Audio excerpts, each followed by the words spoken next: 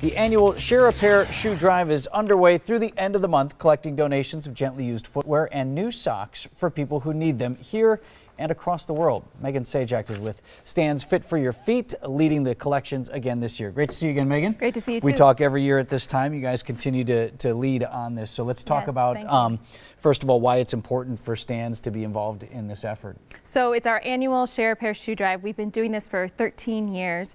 So we love to give back to our community that gives so much to us as a local family business. So we're collecting new and gently used shoes um, throughout this entire month. So that's shoes for kids, women, men, um, all different types of shoes. too. Shoes, right? Shoes. Yes. Uh, let's emphasize gently used because all these that you have here are shoes that look almost new, but uh, but have been lightly worn, if you will. Yes. So you're not looking for people's garbage. No, you, no. you want them well enough that someone would be proud to wear them still. Right. I always like to say we there needs to be a life Yeah. In the shoes after the life that you've had with it. So they need to be able to use it. I know you're also collecting socks. Uh, those are new socks that you're looking for, and then those will go uh, kind of in tandem with the shoe Yes. contribution. Socks are very important, especially for weather and athletic footwear, just to make sure you're comfortable and your feet are taken care of. So then, where'd all the shoes end up? I know there's a there's a local component, and then there's a, a global component to this. And in fact, we have some uh, pictures uh, that you sent us, and some some of the outreach that you've done throughout the area. So locally, we're excited. We've expanded to um, new nonprofits and shelters in the area. So we're donating to five locally. That's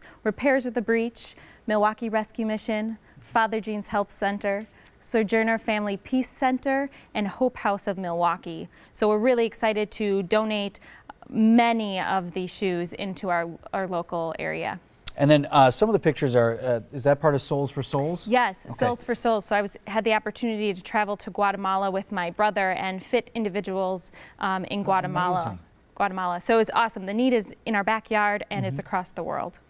Uh, so for people who do want to help you out, they can come to any of your locations, and you've got a little gift for them as well if they're willing to, to step up and help you. Yes. So we're located in Brookfield, Greenfield, and Glendale, and then also at our two New Balance Milwaukee stores. Mm-hmm. And for your generosity, we're giving you $10 off your next footwear purchase. All right. Well, I hope it's wildly successful. Yes, as always, I look much. forward to sharing some good numbers with everyone. Thank you. Now, the Share a Pair shoe drive continues through the end of the month. It Stan's fit for your feet. For store locations that we just mentioned and hours, you can head to our website, tmj4.com/links.